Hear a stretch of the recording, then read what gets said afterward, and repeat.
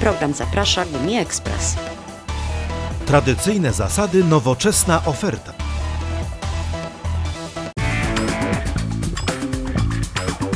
Witamy Państwa serdecznie w nowym roku, w 2023.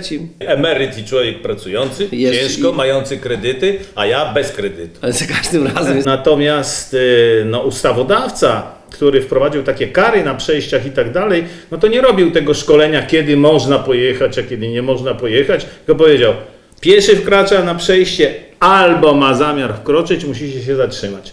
Otóż mm, to nie do końca jest e, prawda. Mogłaby być większa płynność ruchu, gdybyście nie wystraszeni tą karą 1500 zł za nieprzepuszczenie prawda, pieszego, nie zatrzymywali się na wszelki wypadek. Kara za kolizję 1500 zł bezwzględna. Słuchajcie, jak on wezwie policję, to on będzie miał tylko zarysowany zderzaczek albo boczek, wy też, ale wy będziecie sprawcą wypadku i wiecie Kolizji, ile kolizji, kolizji, bo wypadek to wiadomo, ma zupełnie sprawa. na określenie, tak się tego, kolizji, czyli żadne szkody można powiedzieć, lekkie szkody materialne, czasem można by było to spastować.